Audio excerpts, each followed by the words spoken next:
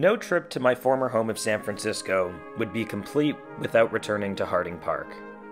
It's where I learned to play, and just last year it hosted a major on the PGA Tour. We caught Harding on a sunny and clear day, and we started on the back nine from the combo tees at about 6,600 yards.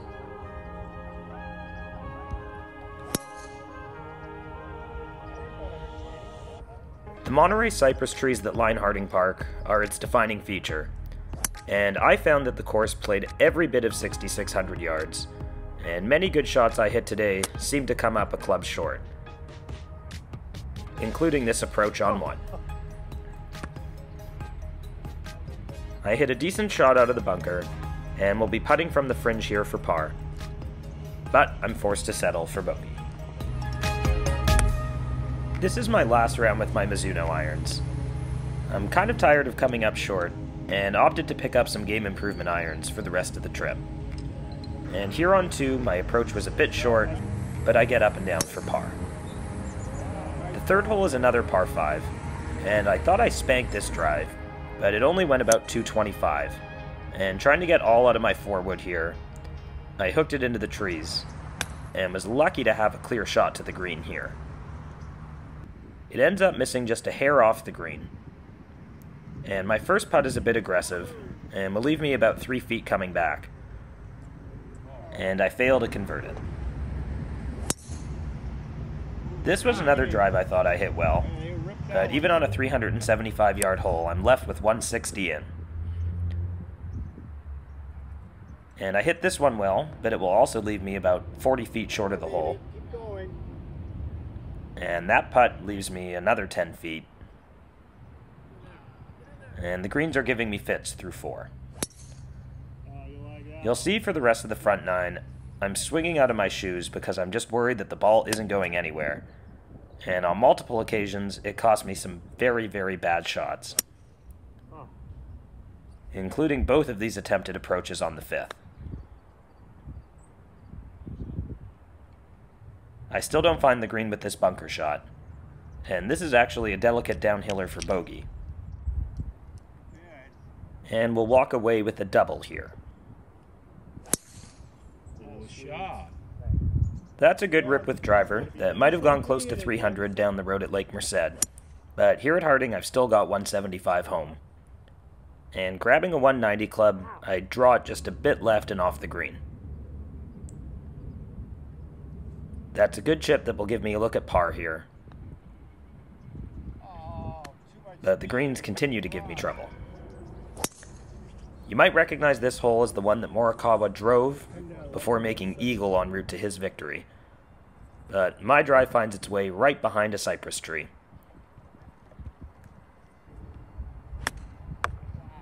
That I managed to hit on my second. And I'll have the same yardage in on my third shot here. This one's hit well, and once again I'll have a look at four. But it breaks away from the water, and it's another bogey. That's a really lousy iron swing that will come up about two clubs short. And I opt to bump this one into the hill, and it's a good shot that will leave me about 10 feet now for par. And finally I managed to make one. In 2005, Tiger Woods and John Daly played a playoff on this hole and managed to fly their balls over the trees on the left. I opt for the human route, and this approach shot looks like it's painting the flagstick, but comes up just a bit short in the bunker.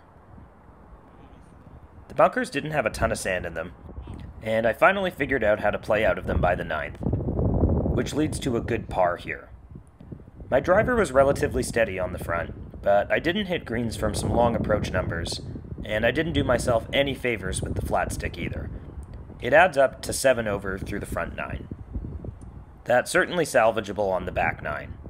But before we get there, I wanted to show you a few shots from other rounds I've played on this California trip. This is the beautiful Half Moon Bay Golf Links, and you might recognize this famous hole at Pebble Beach. Please be sure to like and subscribe, Videos from all of these great courses are coming in the next few weeks, and I'd love for you to see them. The back nine starts with a good rip here, but I get up there to see that it goes all of 230, and I'm probably trying to hit this approach too hard, and I hit an inch behind the ball and miss into some greenside rough. That rough's pretty thick and probably Harding's best defense. And I don't get this one as close as I'd like. I thought I had this one, but it slid right past the hole. And I'll start the back with another bogey. That's a bit of a weak fade up the right. And from thick rough at about 160, I finally hit a good one. It pitches by the pin and rolls out about 40 feet past the hole.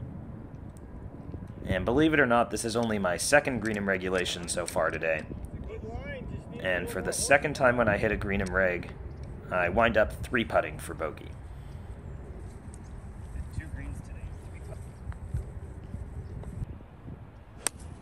This is an uphill par 3, and I knew I hit this one well, but didn't know if the number would be alright.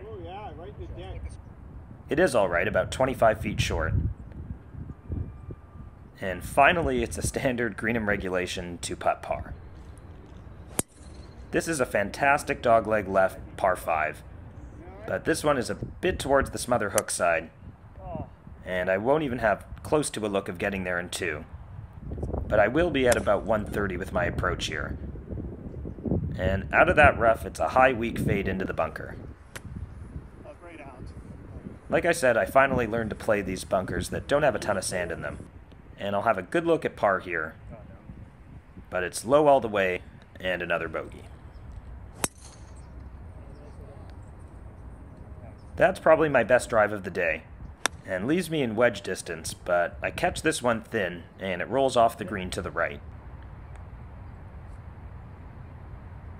But that's a good effort with a wedge from about 10 yards, and I tidy it up for par. This drive's a bit astray, but I see a line here, and punching a 5 iron and keeping it low, it does get up to the green.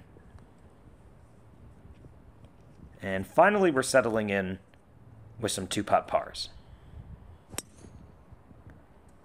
That's a horrible smother hook, but I follow it up with a pretty good effort with a hybrid from the rough here. It lands on the front right of the green before rolling all the way to the back.